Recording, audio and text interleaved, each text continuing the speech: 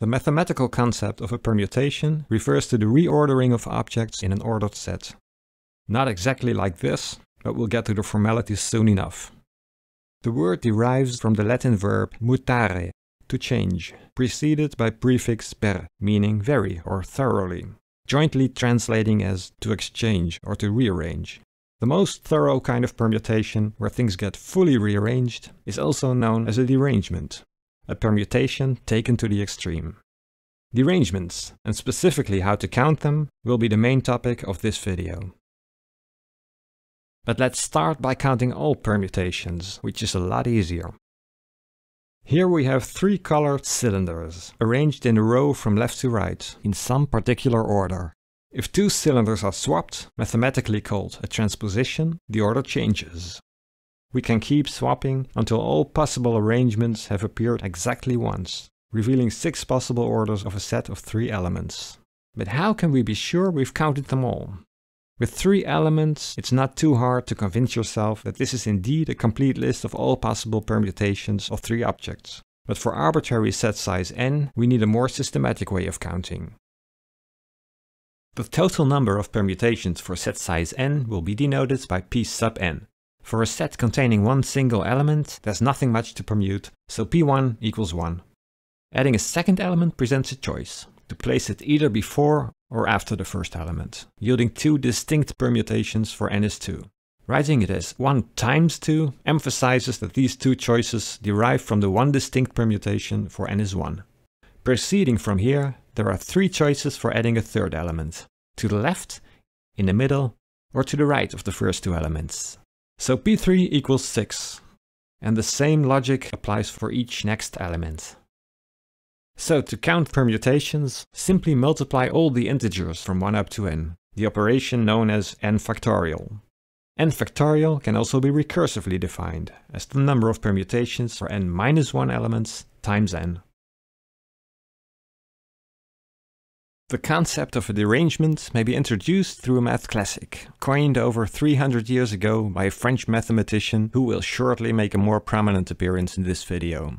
It's most often referred to as the old hats problem, or the hat check problem, describing a scene in a theater or a restaurant where the guests check in their hats before the event and come to retrieve it afterwards. However, due to some dramatic system failure, the hats are returned to the guests totally at random.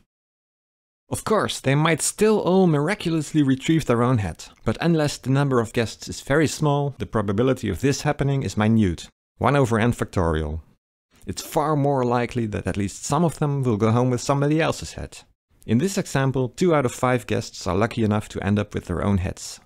But in a worst case scenario, all of the hats can be misplaced.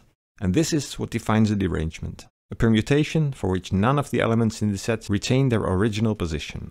To find the odds of this happening for an arbitrary number of guests is the challenge of the hat check problem, end of this video. And it's by no means as trivial as it might look at first sight. An anagram is the equivalent of a permutation in natural language. The letters of the word triangle can be rearranged to form integral, which is therefore an anagram of triangle. Some hidden connection, maybe? Here's another one, again recycling all the original letters. Yes, these words are valid anagrams and permutations of triangle. What about the derangement property? In integral, all the letters have moved to a new position, so this is indeed a derangement. Relating, however, has an A on the fourth position, just as triangle does, so relating is not a derangement. The original word, triangle, doesn't count as an anagram, but it's still a permutation, even a special one, called the identity permutation, where the order is left unchanged, which makes it the complete opposite of a derangement. Of course, you can make all sorts of gibberish permutations, which don't qualify as anagrams because they lack meaning. This one also happens to be a derangement. One more practical application of permutations, also known as Secret Santa. You may know the ritual, where all participants get to put paper notes with their names into a hat or whatever.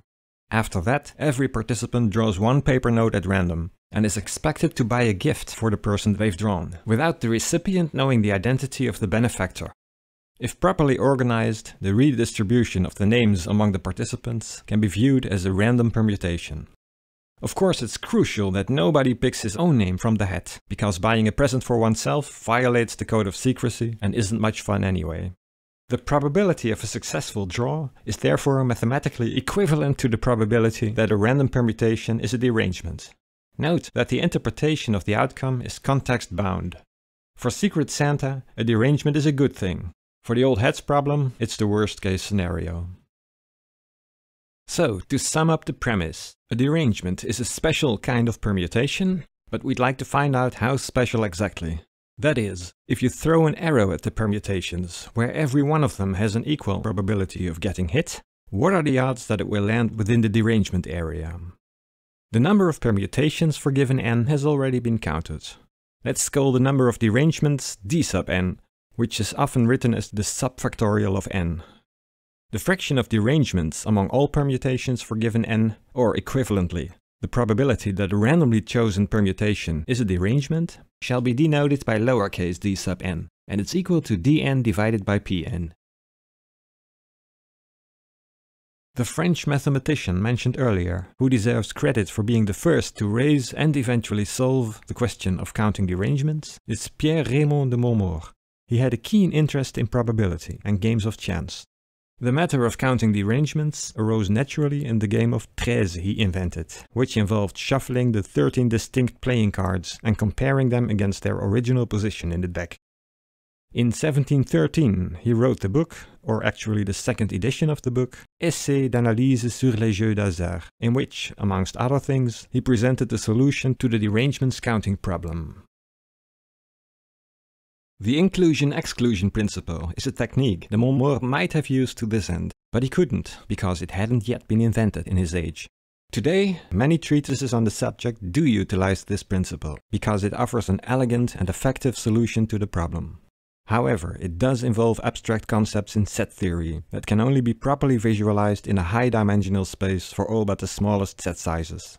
We won't go down that road here, but instead aim for a more practical, intuitive approach.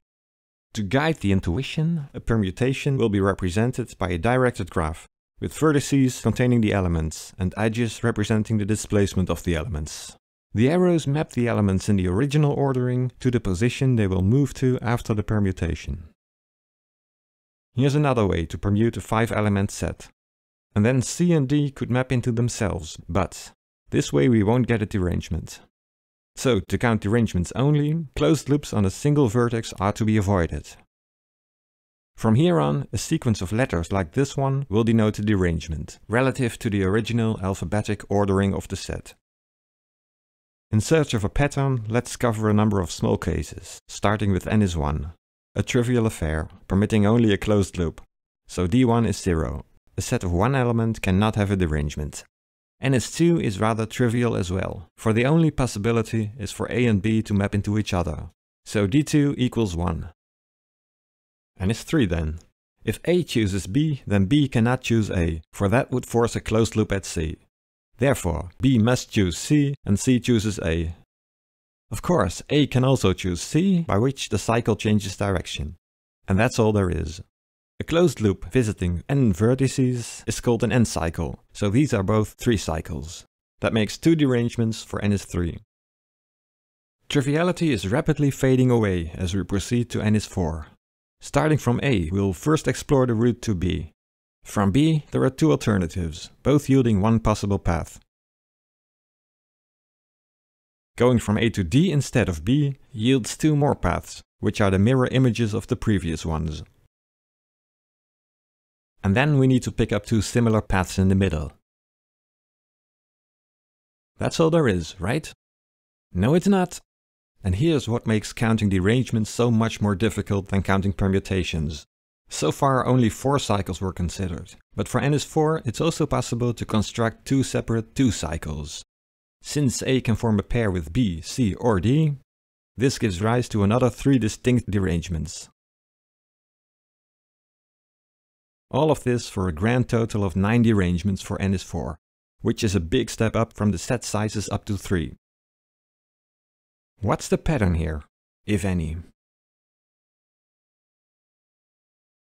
For larger n it becomes exceedingly tedious and unfeasible to keep on counting by hand, so it's time for a smarter strategy.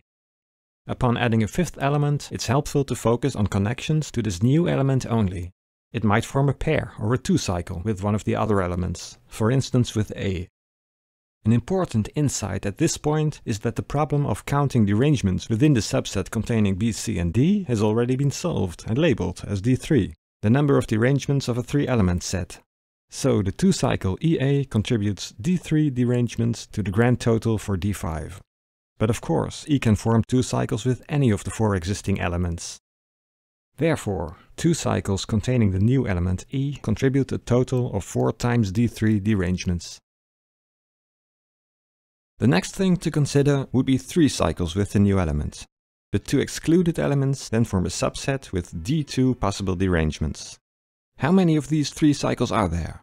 This can be modeled by a tree rooted at E, branching into the available vertices at every stage. Note that the drawn configuration actually covers two of these three cycles, since three cycles can have two distinct orientations. All the other possibilities are represented by alternative paths down this tree, for a total of 4 times 3 possible 3 cycles containing E. This equals the number of ways to construct two element permutations from a set of 4. And 4 is of course 5 minus 1, all elements except the newly added one. An alternative notation for this is 4p2, 4 permute 2. So 3 cycles with E contribute 4 times 3 times D2 to the derangement count for n is 5. D2 being the number of possible derangements of the remaining two elements, which is actually 1. The same pattern can now be extended to 4 cycles with E. There are 4 permute 3 of them, or 4 times 3 times 2. Now D1 appears in the expression. But this is 0, so this whole term could be dropped. But let's not because the general pattern is what we're after, and this term is definitely part of it.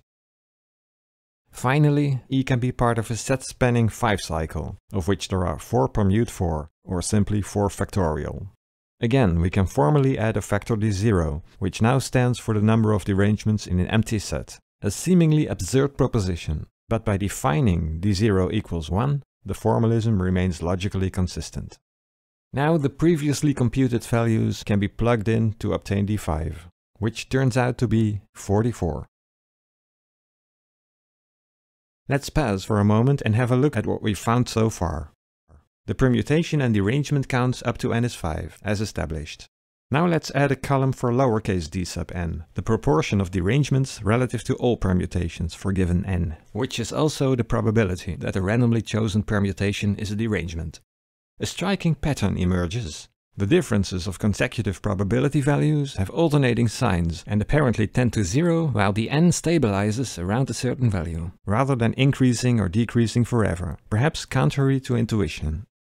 But then again, maybe this shouldn't come as a huge surprise either, because the probability for a particular element to map to its original position decreases as the number of elements increases, and the probability that a random permutation is not a derangement can be roughly associated with the product of these two entities. So these two effects might cancel out to some extent. Anyway, on with the story. The next step will be to try and generalize the counting scheme found for n is 5 to arbitrary n. As for n is 5, only cycles involving the most recently added element will be counted explicitly, Derangement counts in subsets of excluded elements are assumed to be known. Now it's a matter of finding expressions for the contributions of all possible cycles containing an, the new element. Starting with two cycles, which an can form with any of the previous elements, so that's n minus 1 possible two cycles. Times dn minus 2, the derangement count within the excluded subsets. Same thing for three cycles, of which there are n minus 1 times n minus 2, while the excluded subsets now contribute dn-3 derangements each. And so on and so forth, up till the last term representing all set-spanning cycles. A general expression can be given for the number of i cycles containing an. An itself is fixed, so the remaining choices can be expressed as n-1 permute i-1. Using this definition, the counts can be rewritten in the following way after which they can be summed. To obtain the derangement fraction, denoted by lowercase dn, divide this expression by pn, or n factorial. rendering the following tidy result, which can be tidied even further by changing the summation index. To end up with a surprisingly concise equation, defining the n almost as the average of all previous terms up to the penultimate one. Now, starting from here with a clean sheet, the challenge is to find an explicit formula for dn. Which way to go? First of all, the summation is a major inconvenience, so let's move n out of the way, and then isolate the final term from the sum, leaving a summation that can be plugged back into the previous line, so that the sum in the bottom line can be replaced by a single d term to yield the following second-order difference equation. This equation can be regrouped to bring out differences of consecutive d-terms. Let's name this difference delta sub n, by which the order of the difference equation reduces to 1. Note the similarity to the recursive formula for n factorial, with two discrepancies. The n minus 1th term is divided rather than multiplied by n, and there's an additional minus sign. So the explicit formula for delta n will be something over n factorial. Filling in the dots requires knowledge of the initial value of the sequence. Let's make a small table to this end and plug in some known values. Delta 2 equals d2 minus d1, and that's 1 half. To find delta 1, insert one more row to learn. Eventually, that delta 1 equals minus 1, which of course didn't really require the extra row, but it's always nice to reinforce the overall consistency. The minus sign in the equation will produce alternating signs of consecutive terms. So the explicit expression for delta n can now be revealed. It's minus 1 to the nth divided by n factorial. The intermediate variable delta n has done its job. Time to return to the body of interest, dn, which presents the next recursive equation to solve. But this is a simple one. Just sum out all the terms and plug in d naught, which equals 1. So here we are. Let's take a moment to enjoy the view. It's not surprising that the n appears to converge to a stable value as n goes to infinity, for the sum's terms are divided by k factorial, a faster than exponentially rising function, while the numerator always has an absolute value of 1. For some of you it may seem like this next formula is falling from the sky, but for a seasoned mathematician the obtained result is instantly reminiscent of the famous power series for e to the x. A Taylor series to be precise. Or a Maclaurin series to be even more precise, because the series is developed around x is 0, a topic in itself that shall remain untouched here. It's noteworthy that both Taylor and Maclaurin were contemporaries of Pierre Rémond de Montmort, in fact, the introduction of these series came after de Montmort's work on derangements, so he was unable to fully exploit the connection to this body of theory. But to show that this series does make sense, here's a quick plot of the partial sums up to n is 12. As you can see, for increasing n it's getting better and better at approximating e to the x around x is 0. Beyond a certain point, it starts to diverge wildly, but the interval for which the approximation is valid can be extended arbitrarily far in both directions by summing a sufficient amount of terms. Now back to the derangements result. The terms being summed here match those of the e to the x series exactly if x is chosen to be minus 1. Therefore, for increasing n, dn will approach e to the minus 1, or 1 over e. So this is the sought after asymptotic value of the derangement probability. Let's zoom in on the region of interest to see how quickly the series converges for x equals minus 1, while the n values will be projected onto the y-axis. Pretty quickly, as you can see. At this scale, all noticeable changes occur up to n is about 6. Let's briefly return to the plot presented earlier and see how the obtained asymptotic value fits in. 1 over e has a decimal expansion of approximately 0.368. Adding in a few more data points illustrates how fast these values are closing in on the target. Here's the equivalent of this table in de Montmort's book. He's counted non-derangements, because non-derangements correspond to the definition of success in his game of Treize, and writes his results in terms of exact fractions. He uses p instead of n for the set size, a is the number of permutations for given p, and S the number of non-derangements. For those of you seeking experimental verification of the result, here's a simulation of 10,000 random permutations for a set size of 20. Large enough for the theoretical probability of a derangement to be very close to 1 over e. As you can see, after some initial wanderings, the average proportion of derangements inescapably approaches 1 over e. As it should. Planet Earth with a population pushing 8 billion in 2022. Imagine this entire population as an ordered set to be permuted. For n is 8 billion, the derangement fraction is unimaginably close to 1 over e. How close? Well, it's accurate to about 75 billion decimal places. Here we have the first 1000 of these 75 billion decimal digits.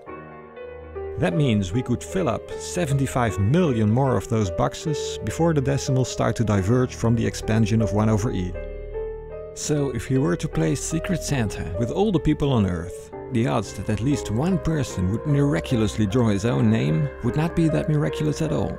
In fact, that's what expected to happen nearly 2 out of 3 times, with probability 1 minus 1 over e, or about 63%. One of many examples where math seems to defy basic intuition.